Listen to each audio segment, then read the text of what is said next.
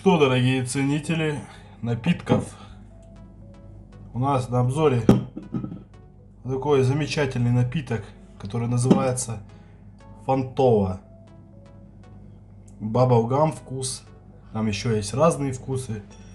А, ну вот я решил такой вот взять. В общем-то, по вкусу, ой, в общем-то по дизайну напоминает, ну, целиком и полностью какой-то детский напиток.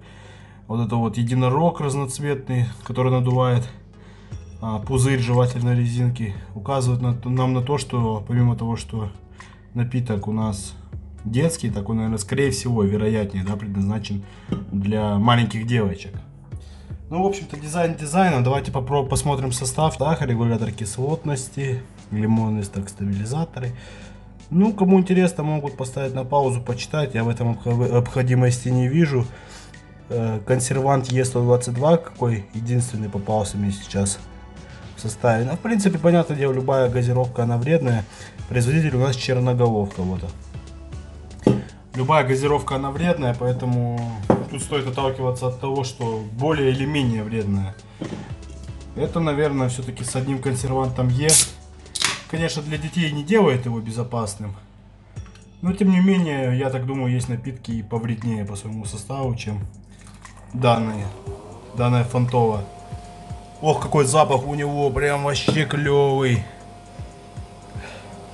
Прям вот просто жевательной резинки, вот этой Orbit Bubble Gum.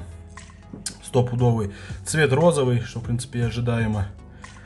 Ну, прям яркий-яркий насыщенный этот запах жевательной резинки. Естественно, в природе такого запаха нет, это полностью синтезированный аромат, но тем не менее он такой сладкий, ароматный, клевый.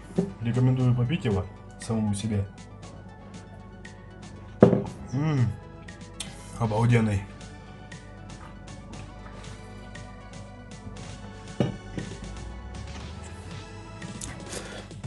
Мне нравится, слушайте.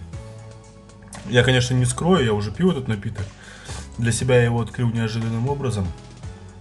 Где-то буквально месяца 3-4 назад впервые с ним столкнулся. Но он мне еще тогда пришелся по вкусу.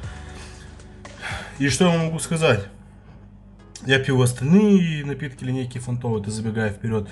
А, ну, в принципе, все понравились, но для себя отметил больше всего именно этот вкус Баба Угам. Яркий, насыщенный аромат, вообще просто.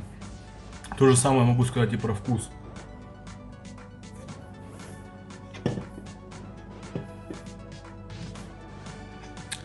Ну, соответственно, тут надо учитывать цена-качество, да, стоимость. Я думаю, вот эту банку я взял за 36 рублей. Да прекрасно просто, вообще шикарный напиток за свою цену. Да и сам по себе, я его еще, ну, так сказать, забегая вперед, могу сказать, что и за 50 рублей его брал и считал, в принципе, дороговато, но он этих денег стоил. А тут за 36 это вообще подарок. Так что увидите, такой напиток рекомендую.